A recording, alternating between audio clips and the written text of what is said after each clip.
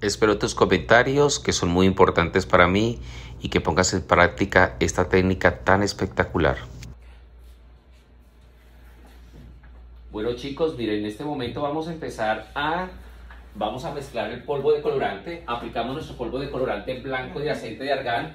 Recordemos que nuestro polvo de colorante de aceite de argán tiene ya eh, aceite incluido, aceite de argán, entonces va a ser mucho más fácil que se deslice el polvo de colorante. No importa que quede pastoso, pero va a ayudar a deslizar. Es por eso que se tiene que mezclar uno más uno y que quede pastoso. Carolina lo está haciendo en este momento. Y mire, Carolina lo va a colocar, ahí coloca y... O sea, uno más uno porque... Una porque colocaron dos, dos scoops porque ella tiene un cabello muy largo, entonces obviamente se lleva bastante producto. Entonces vamos a empezar a mezclar y no nos dé miedo si sentimos que el polvo de colorante está quedando muy pastoso porque de esa manera debe de quedar. Y no nos dé miedo pensar de que no nos va a rendir, porque sí rinde. O sea, eh, con Carolina llevamos haciendo esta técnica muchísimo tiempo y obviamente funciona, rinde y mire cómo queda, queda completamente pastoso. Tienen que ver ustedes que la brocha quede completamente parada, que la brocha quede así parada, que cuando voltea así, mire, el polvo de colorante no se caiga, ni la brocha se caiga.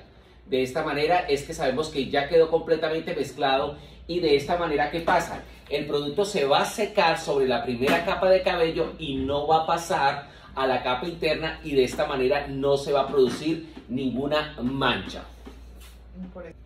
Bueno chicos, miren, entonces en Isabela vamos a hacer una técnica de gota de agua, ¿ok?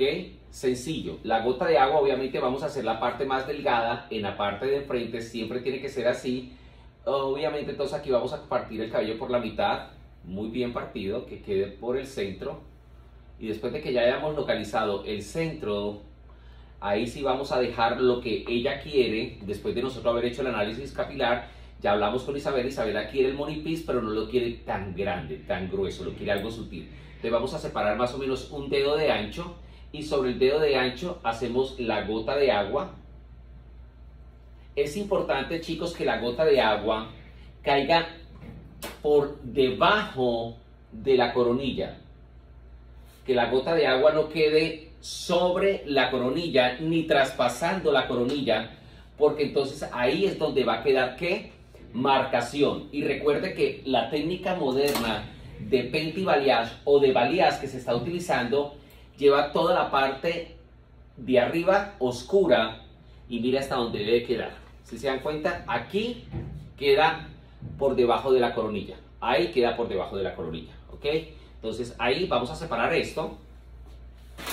Obviamente cuando terminemos de montar todo el y y soltemos la gota de agua, vamos a crear también en forma de painting balayage un balayage ombre solamente en la punta del cabello de Isabela.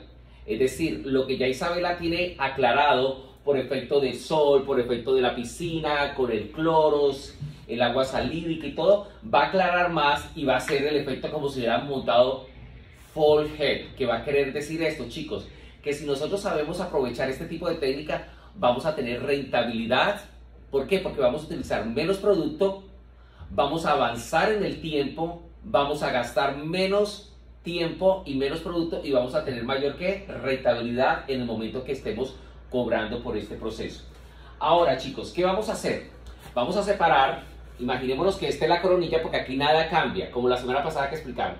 Menos que esta es la coronilla y vamos a traerlo detrás de la oreja, ¿ok? O sea, detrás de la oreja y aquí separo esta división, ¿ok? Que esto va a ser mi primer lateral derecho, que le vamos a trabajar a Isabela.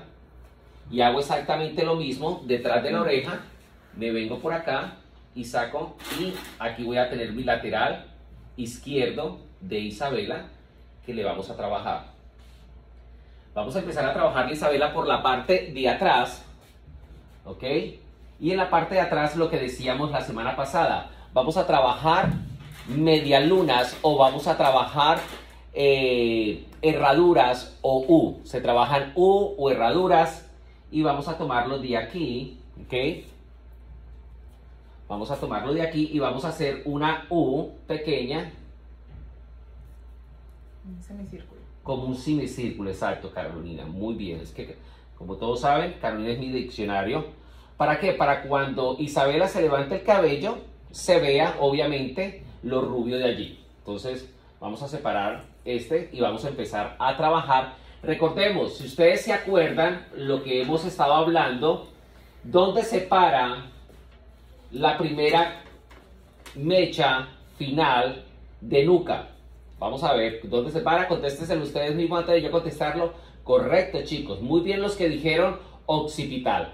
Ahí en el occipital es donde se para la primera línea de trabajo, porque del occipital a coronilla se trabajan ¿qué?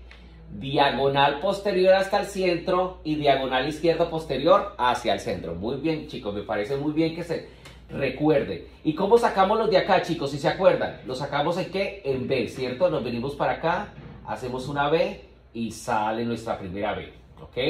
Entonces Carolina va a venir para acá y yo voy a trabajar hoy mi guante. ¿Ok? Entonces voy a colocar producto donde? No en la paleta. Recuerde que podemos hacerlo en paleta o en guante. ¿Ok? Entonces voy a colocar aquí en el guante. Voy a sujetar el cabello muy bien. Es muy importante este ejercicio, muchachos. Este ejercicio es muy importante así parezcamos maniáticos porque estamos uniendo todos esos pelitos sueltos. Tomo producto y empiezo a hacer la aplicación. ¿Ok? Empiezo a hacer la aplicación y aquí voy a hacer aplicación de cross balayage. ¿Cómo traduciría eso de cross balayage, Carolina? Como balayage en X. Como balayage en X, ¿verdad que sí? Cruzado, muy bien, cruzado. ¿Dónde van a cruzar ustedes? Van a cruzar donde ustedes crean que es importante cruzar, como lo hayas aclarado con tu clienta, ¿ok? Como lo hayas aclarado con tu clienta, es muy importante que ustedes decidan dónde van a hacer ese cruce del balayage que estén realizando con su modelo, ¿ok? Me encanta cómo se desliza el brillo. No, a mí me fascina eso, Carolina, de verdad que sí. Y aquí voy a hacer esto, ¿ok? Por eso es que importante tener el guante puesto y suelto, ¿ok? Entonces, mire si ustedes se dan cuenta, aquí va a estar completamente oscuro, aquí va a estar claro que es la parte externa del cuello de Isabela o de nuestra clienta, que es lo que ella quiere verse claro, va a estar el mechón claro de dónde? Del centro, va a estar claro el mechón del centro y va a estar claro el mechón de afuera, que es lo que se busca. Así que vamos a repetir nuevamente, aquí hay que tener siempre toalla muchachos, así que vamos a traer una toalla y nos vamos a estar limpiando siempre. Esta técnica es de toalla, 100% vuelvo y tomo el cabello de Isabela, vuelvo y hago el manejo. ¿okay? La atención, ¿verdad? La te, muy, es que, Carolina, la atención en este tipo de trabajo, y no solamente la atención, sino la fuerza que usted va a tener siempre sobre el cabello de tu modelo, ¿ok? Porque aquí no hay que perder la atención en absolutamente para nada, Carolina. Si la perdemos, obviamente ya estamos generando eh, una... Una, una arruga así, como estamos como coarrugando el producto y obviamente nos va a causar a nosotros que nos quede el cabello completamente manchado, Carolina. Importante la atención. Y no hay que ser tacaños, Carolina. En esta técnica no hay que ser tacaños. Es esta mire, chicos, cuando llego al centro, manejo hacia arriba y luego sigo aplicando hacia abajo. ¿Ok? Mira, aquí voy uniendo. ¿Ok? A medida que voy uniendo, Mire, voy uniendo, voy uniendo todos estos cabellitos que van quedando completamente por fuera. Por eso es que es tan importante, Carolina, en este tipo de trabajo, lo que le hicimos ya a Isabela. Ya a Isabela le realizamos el corte de cabello. Uh -huh. Es muy importante nosotros siempre hacer corte de cabello antes de realizar la técnica. ¿Para qué? Para que nosotros sepamos, muchachos, qué es lo que vamos a tinturar o qué es lo que no vamos a tinturar. Ahora, esta misma técnica la vamos a llevar hasta el occipital, ¿ok? Así que ya nos vemos ahora cuando estemos haciendo la última mecha del occipital. Bueno chicos, entonces mira, aquí ya vamos avanzando. Mire, si ustedes pueden ver, Carolina, si me puedes alzar bien este mechón. Si se dan cuenta, muchachos, es una herradura o una U o un semicírculo, como lo dijo Carolina. Entonces, muy importante este movimiento, chicos, este movimiento. El decolorante solamente va en la primera capa, no va en la capa interna. y solamente se coloca polvo de colorante en las dos caras en la punta. Dependiendo en qué parte de la punta tú quieres empezar a crear la parte que más rubia. Es por eso que si tú quieres crear bastante contraste, en el primer mechón lo empiezas, digamos, desde la mitad. En el segundo mechón, más hacia la punta. En el tercer mechón, nuevamente en la mitad. De esta manera te va a quedar mucho más difuminado y con más concordancia el balayage que estés realizando. Aquí vuelvo, bajo el cabello, tomo producto con la brocha y lo empiezo a aplicar. Ok, mire, lo empiezo a aplicar. Muy importante, la saturación, muchachos. La saturación es clave en este tipo de trabajos. ¿Sí? Vamos a tomar aquí, Carolina, yo tranquila, no te preocupes, Carolina, que yo lo hago. Carolina está de mi asistente en este momento colocando, sujetando el cabello, así que yo lo puedo hacer. Vuelvo y tomo y empiezo a colocar producto. Miren, la saturación, muchachos, es por eso que la parte visual es muy importante. Aquí, por ejemplo, yo me doy cuenta que aquí necesita más que saturación.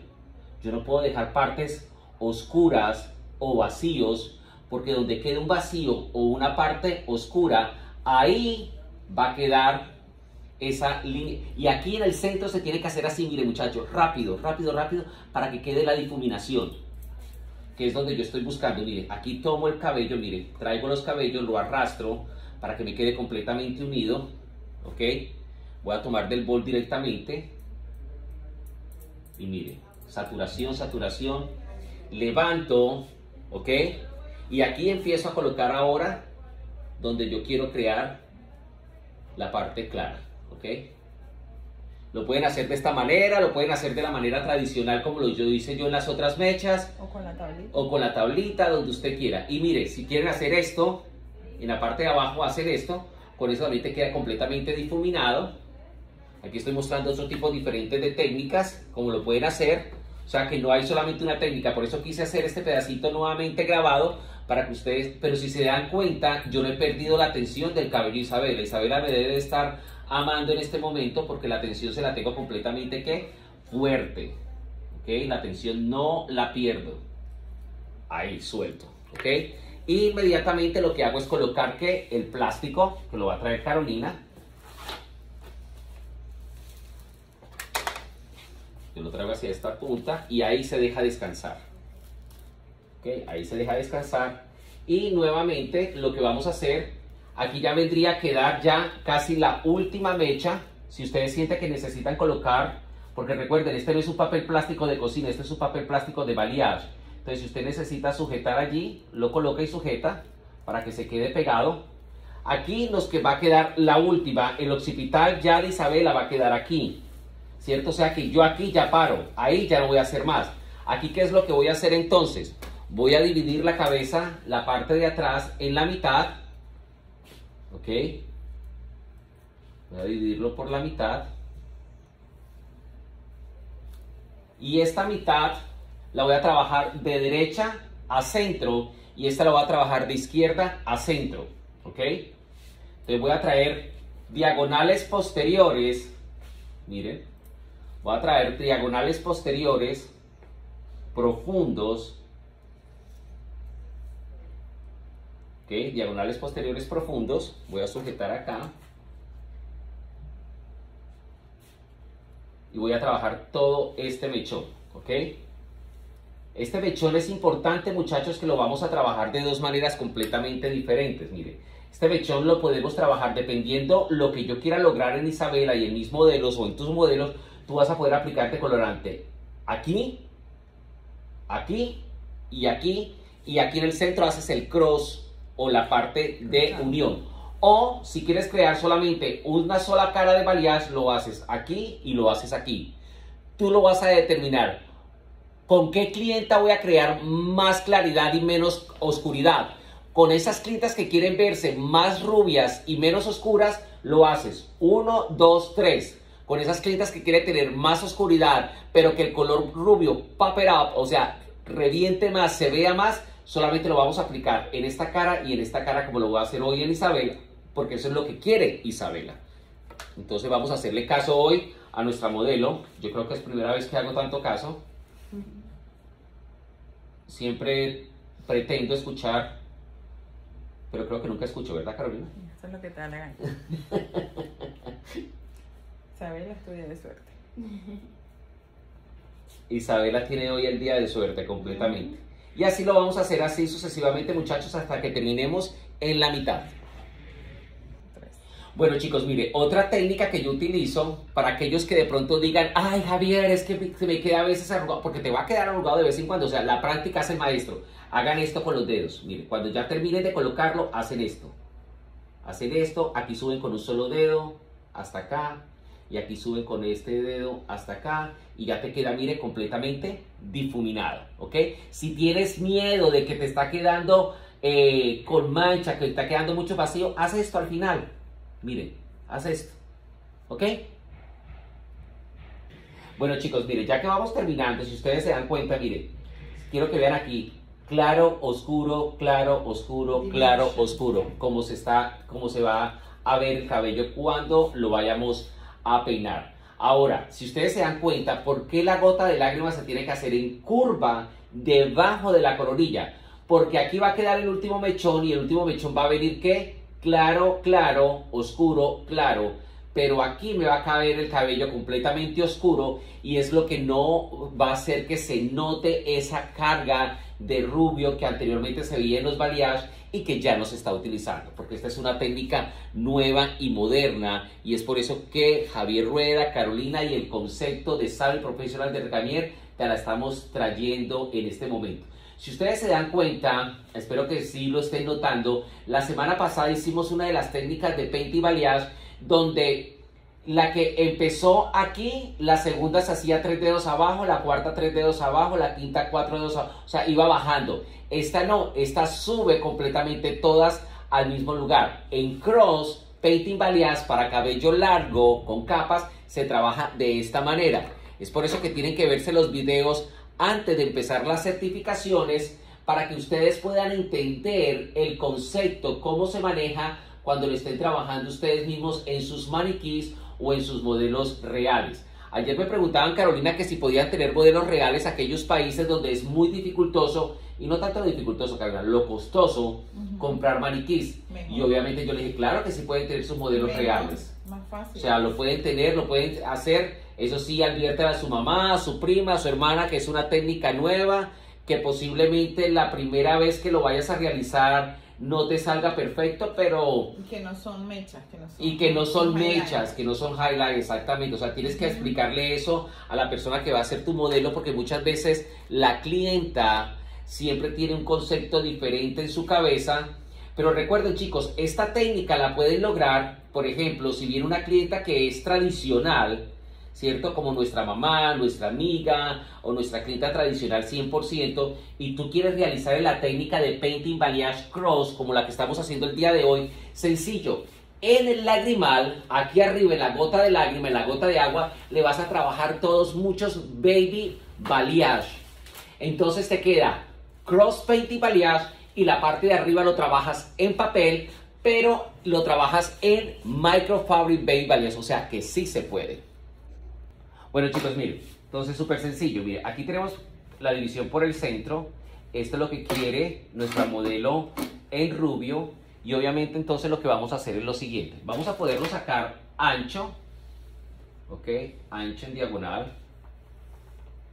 así, ok, y podemos empezarlo a pintar de esta manera, aquí y aquí, pero entonces obviamente lo vamos a empezar a dónde, desde abajo, ok, entonces sacamos también diagonal. Si yo voy a venir el primer, el último diagonal va a ser este, ¿ok? Entonces yo debo de ser consecutivo y venirme primero y sacar aquí el primer diagonal para llevar esa misma línea hasta acá. O sea, estos diagonales anteriores no se pueden sacar como se sacaban antes a lo loco y a lo visual, sino que este debe tener concordancia con eso. O sea, Se este va a ser el primero, este va a ser el segundo, este va a ser el tercero y este va a ser el cuarto. Es decir, yo ya desde antes sé cuántas divisiones de balayage voy a sacar. ¿Ok? Así que es muy importante que tengamos esa parte y la tengamos muy bien clara, muchachos. ¿Ok? Y mire, este diagonal anterior lo voy a trabajar no aquí, lo voy a trabajar caído, acá, va a caer sobre el hombro. No es un diagonal anterior que lo voy a trabajar adelante, no es un diagonal anterior que lo voy a trabajar hacia atrás, que lo podría trabajar si yo quisiera ese efecto, pero en Isabela hoy lo voy a trabajar hacia abajo, o sea, le va a caer todos hacia dónde? Hacia los hombros, ¿ok? Entonces, muy importante, mire, Isabela tiene mucho pelito de bebé todavía, entonces hay que separarlos. ¿Ok? O sea que yo voy a empezar a poner la atención desde aquí. Y quiero que se den cuenta, mire muchachos, si se ven, mire, el, papel- el polvo de colorante se seca y mire cómo se cae. Se encapsula. Miren, es por eso que no mancha el cabello de abajo, ¿ok? Para que lo tengan en cuenta cuando me hagan esa pregunta, profe, pero es que no me va a manchar. Y yo, no, no le va a manchar. Que a veces me hacen esa pregunta 10 mil veces Mil veces la y 10 mil veces la contesto, pero a veces como que la, la, la, la decimaba, yo como que, ah, really? Like, you continue asking the same question? ¿Hasta cuándo? Ok, chicos, entonces mira, aquí lo estamos haciendo en Isabela. Ok. Y obviamente el cross lo voy a empezar un poquito más arriba en los laterales. ¿Por qué? Porque obviamente va a ser la parte que me va a iluminar mucho más el rostro. Entonces el cross lo voy a hacer más sobre esta zona y lo mismo voy a pintar el cabello en la parte de abajo desde ahí. Porque obviamente es la primera mecha que le va a caer a Isabela o a tu clienta o a la clienta que tengas. ¿Dónde? Sobre la cara. ¿Y dónde es donde quieren verse las clientas más rubias y que se le vean? En el marco del rostro. Entonces es muy importante jugar con ese tema. Y cae, ¿ok? Entonces mira, ahí la tienen. Supremamente sencillo, mírenlo, aquí lo pueden ver. ¿Ok? Entonces vamos a colocar nuestro papel. Chicos, créanme que tener tu estilista al lado tuyo, como tengo ya Carolina, es un privilegio, porque esto es súper sencillo, esto lo podemos hacer nosotros mismos. Aquí porque ustedes saben que Carolina ahorita, pues Carolina es mi, mi, mi mano derecha, mi mano izquierda, pero cuando Carolina y yo hacemos estas técnicas en nuestras peluquerías, o sea, no tenemos quien nos haga esto, o sea, dijimos uno aquí, el otro va a ser aquí, ¿ok? Diagonal. diagonal. Este pelito chiquitico de Isabela se lo voy a retirar porque él va a ir en el otro, ¿ok? Aquí también, muchachos, mire, lo que hablaba yo en el mechón lateral. Aquí van a poderlo tinturar, van a poder aplicarlo sobre la parte del rostro, encima y en la parte lateral de atrás. Tú lo decides. Yo en Isabela, como lo voy a peinar todo hacia dónde, hacia abajo, lo solamente lo voy a pintar aquí y aquí. Si tú lo fueras a peinar a la clienta hacia atrás, mire lo que tendrías que hacer. Tendrías que aplicar una línea delgada aquí, una línea delgada aquí y una línea aquí. Y aquí, en esto vendrías a hacer el cross. Es por eso que es muy importante saber. Lo mismo acá, si yo a Isabela la fuera a tirar todos los papeles hacia adelante, lo haría aquí y aquí solamente y sobre esta zona haría el cross. Hay que tener eso muy en cuenta y pendiente. Entonces, pero Isabela como la tengo sentada aquí y lo voy a trabajar aquí de frente. Si se acuerdan la técnica anterior que yo me tenía que parar era de lado. En esta yo me paro Enfrente. a enfrente, ¿ok? La posición del cuerpo es muy importante, la posición de la modelo es muy importante y la cara en que yo vaya a colocar la decoloración también es muy importante, ¿ok? Uno, miren muchachos, uno. Es por eso que es muy importante estar limpiando que el guante para no manchar.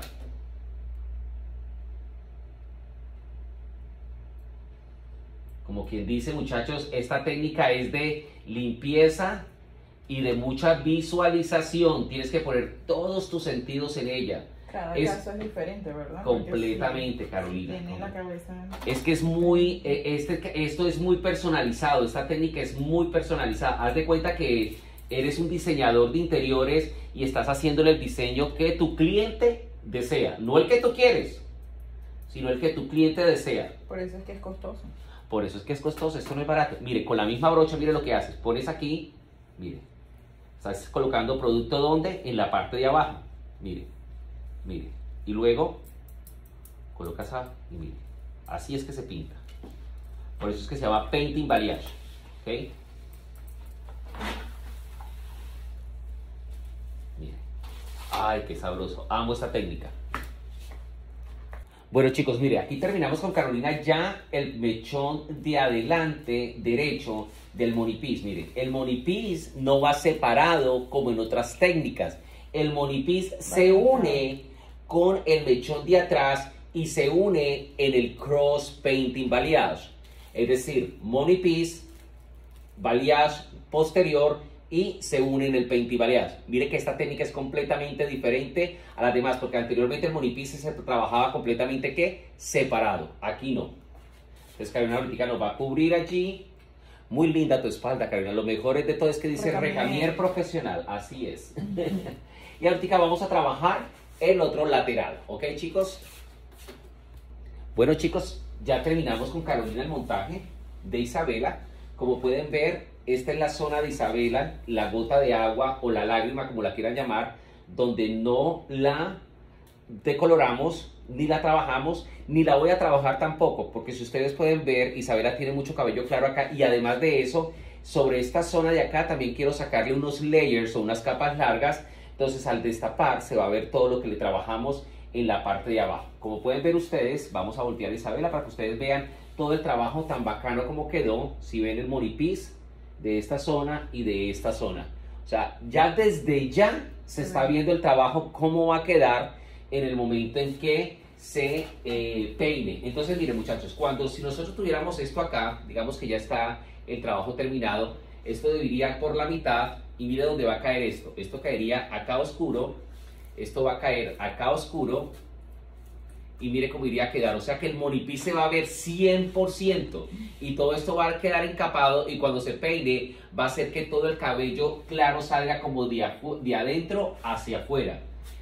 Si estuviéramos en los años, principios de los 2000, se llamaría como una técnica painting balayage peekaboo, que sale todo lo claro de adentro hacia afuera. Así que vamos a ver el resultado en poco tiempo. Si ven chicos, mire, mire cómo se seca el polvo de colorante, mire cómo se seca y vamos a quitarlo Carolina poco a poco y vamos a levantarlo de aquí. Y mire que el cabello de abajo no está manchado. ¿Por qué? Porque nuestro polvo de colorante se seca y de esa manera hay que trabajarlo. La decoloración quedó perfecta. Mire, aquí se ve cómo va a quedar. Oscuro, claro, oscuro, claro, oscuro. De esta manera. Y en la parte de adentro, en la parte de abajo, es donde queda completamente rubio. Y aquí completamente que oscuro. Así que vamos a lavar esta belleza y vamos a tonalificar.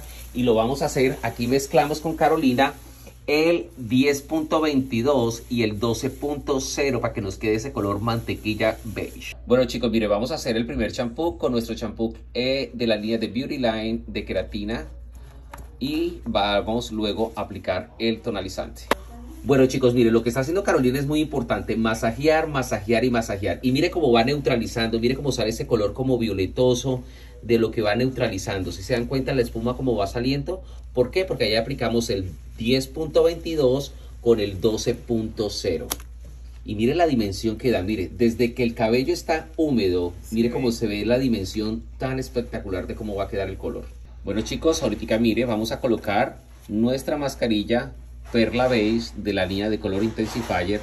Hay que ser generosos muchachos cuando el cabello es largo. Bueno chicos, mira, aquí ya estamos con Carolina, estamos con nuestra modelo. Ya terminamos de tinturarle, como pueden ver usted aquí está el painting balayage.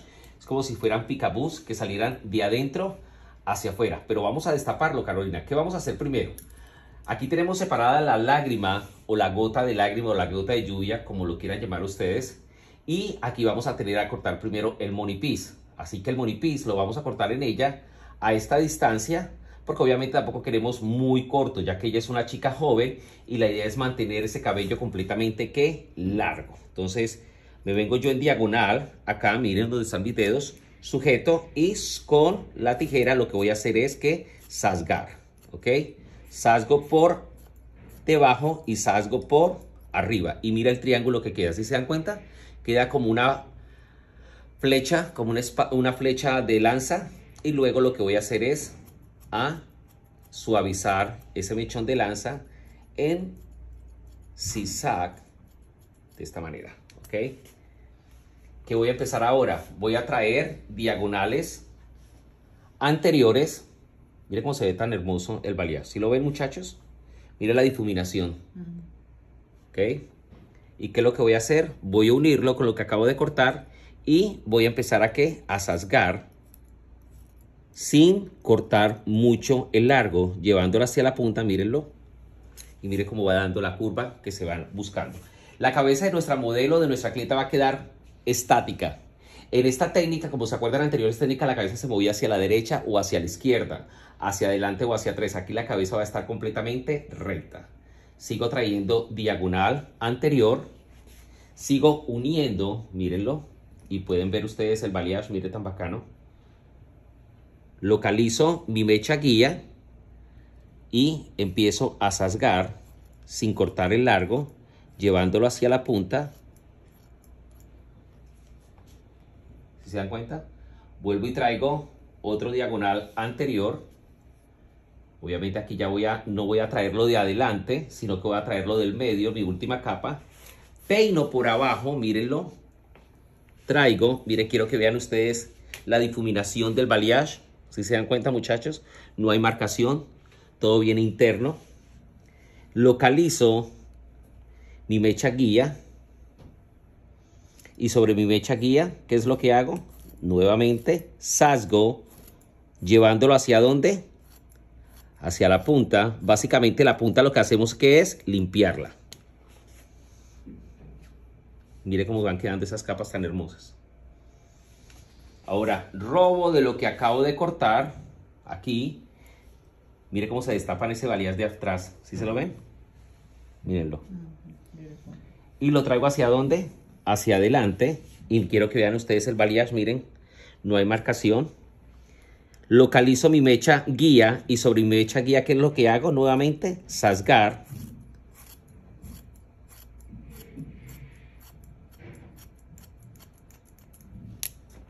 Y mire cómo inmediatamente se logran hacer todas esas capas largas. Ahora, ¿qué es lo que voy a hacer? Ahora lo que voy a hacer es peinar entra mi yema de dedos y twist. Al twist, ¿qué es lo que hago? Texturizar internamente el cabello. Esto sí lo voy a hacer individual. Peino hacia dónde, colegas? Hacia adelante, ¿cierto? Entran mis dedos y hago twist.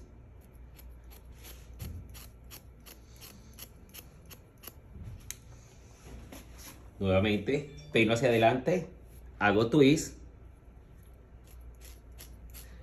¿cómo diríamos twist? Eh, doblo hacia adentro, ¿no? Sí, doblar hacia adentro, twist. Enrollar. Enrollar. Y mire cómo queda esto tan espectacular, muchachos. Miren. Lo mismo lo vamos a repetir al lado contrario.